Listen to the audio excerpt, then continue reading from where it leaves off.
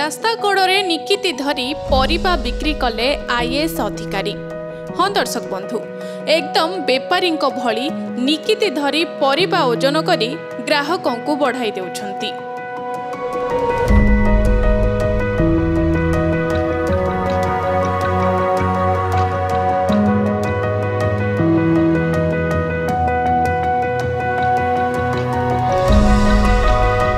ଉତ୍ତରପ୍ରଦେଶ ପ୍ରୟାଗରାଜରୁ ଏମିତି ଏକ ଦୃଶ୍ୟ ସାମ୍ନାକୁ ଆସିଛି। ଏ ଭାଇରାଲ ଫଟୋ ଦେଖି ଆପଣ ଦ୍ୱନ୍ଦ୍ୱରେ ପଡ଼ିଯାଇଥିବେ ନିଶ୍ଚୟ। ଭାବୁଥିବେ ଏମିତି କି ସ୍ଥିତି ପଡ଼ିଲା ଯେ ଜଣେ ଆଇଏଏସ୍ ଅଫିସର ରାସ୍ତାରେ ବସି ପରିବା ବିକ୍ରି କରୁଛନ୍ତି। ତେବେ ଆସନ୍ତୁ ଦର୍ଶକ ବନ୍ଧୁ ଜାଣିବା କ'ଣ ଥିଲା ପୁରା ଘଟଣା।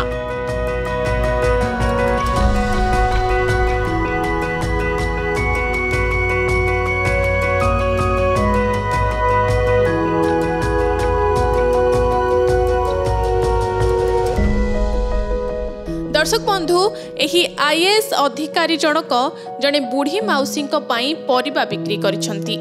ଯାହାର ଫଟୋ ସୋସିଆଲ ମିଡିଆରେ ଭାଇରାଲ ହେବା ପରେ ଏବେ ଏହାକୁ ନେଇ ଚର୍ଚ୍ଚା ଜୋର ଧରିଛି। ଏହି ଆଇଏଏସ୍ ଅଧିକାରୀଙ୍କ ନାମ ହେଉଛି ଅଖିଳେଶ ମିଶ୍ର। ମିଳିଥିବା ସୂଚନା ଅନୁ ମିଳିଥିବା ସୂଚନା ମୁତାବକ ଆଇଏଏସ୍ ଅଧିକାରୀ ଜଣକ ସରକାରୀ କାର୍ଯ୍ୟ ସାରି ପ୍ରୟାଗରାଜରୁ ଫେରୁଥିଲେ।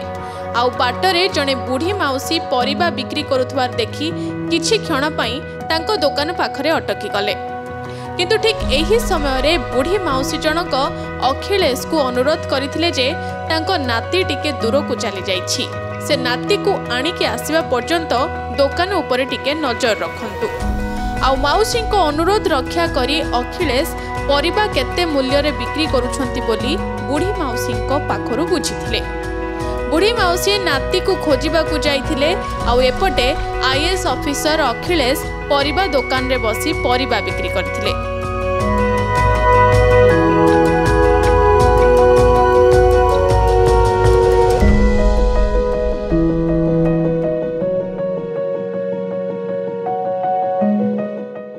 ଏହି ସମୟରେ ଅନେକ ଗ୍ରାହକ ଆସି ପରିବା କିଣିଥିଲେ ଓ ମାଉସୀ ଫେରିବା ପରେ ସେ ହିସାବ ମଧ୍ୟ ଦେଇଥିଲେ।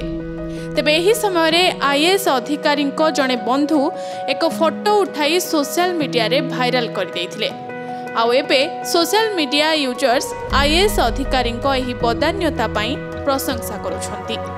କିନ୍ତୁ ସବୁଠୁ ଆଶ୍ଚର୍ଯ୍ୟର କଥା ହେଉଛି ପରିବା ବିକ୍ରି କରୁଥିବା ବୁଢ଼ୀ ମାଉସୀ ଜଣକ ଜାଣିନଥିଲେ ଯେ ସେ ଜଣେ ଆଇଏଏସ୍ ଅଫିସର ବୋଲି।